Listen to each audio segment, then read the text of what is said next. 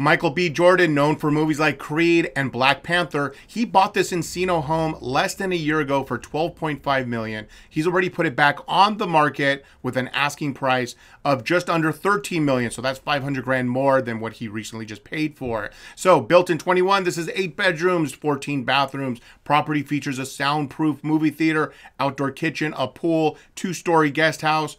Michael B. Jordan's property on the market right now.